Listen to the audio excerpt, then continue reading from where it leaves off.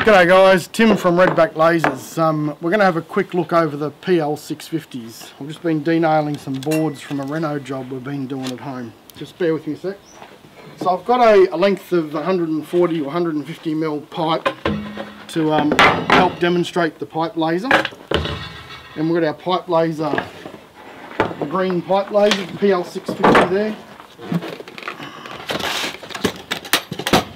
So you see it comes in the sturdy carry case. Um, you've got your targets for up to 500 mil pipe um, and your target holder, which we're going to use that target there with the 150 mil setting because we're using 150 mil pipe. The PL650, um, we need our remote control.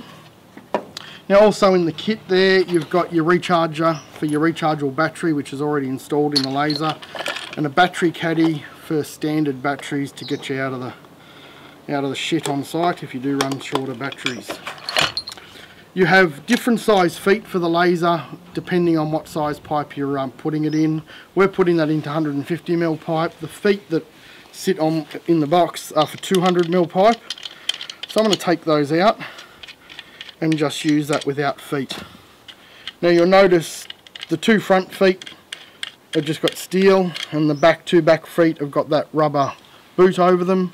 We know which ones to put them on. If we look at the, the, the threads there, we've got steel there and then a rubber boot on those. That's just to help stabilise the laser.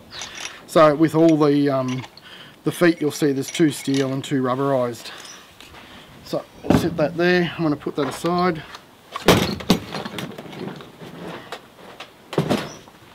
So obviously you'd be down in a trench and I've got the pleasure of working at um, waist height.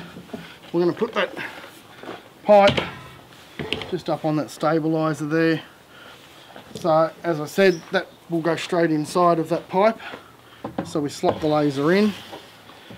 Now if we power it on, um, its last setting was set at zero. The, the pipe laser will go back to its last setting before it was powered off. So if you were running sewer at a 1.67% angle, and you power it off, it's going to be at 1.67 when you start it up again.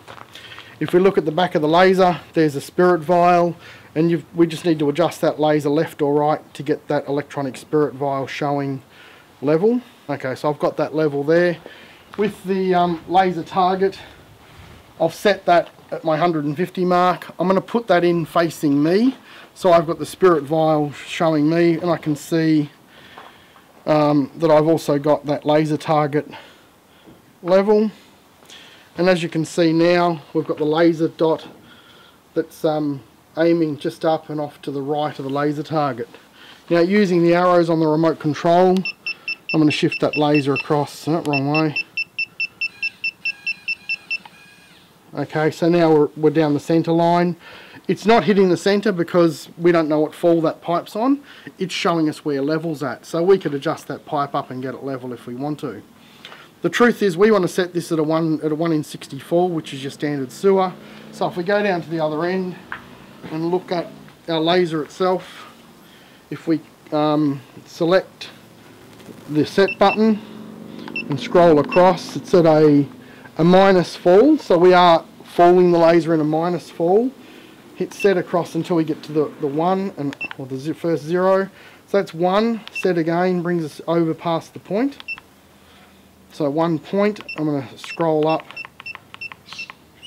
Oops. Six. Scroll one more time across.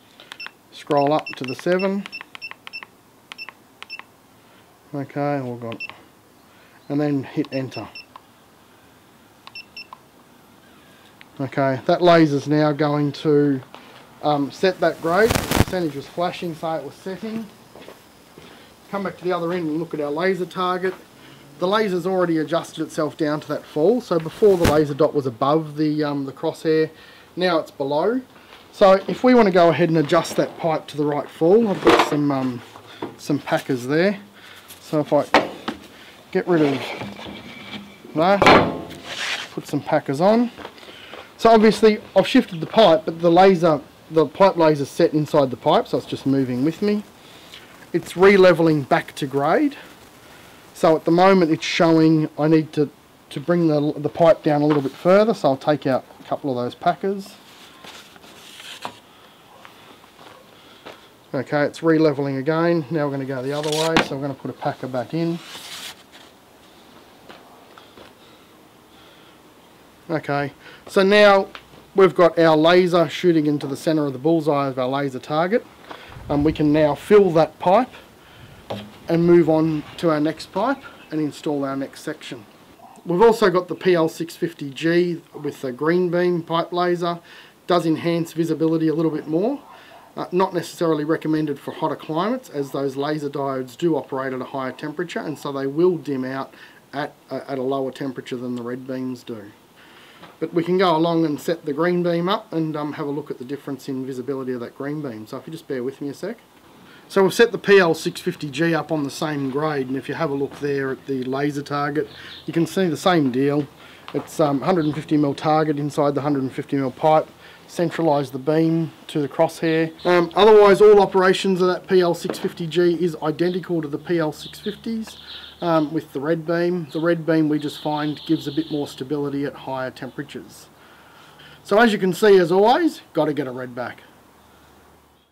If you like these videos, please subscribe.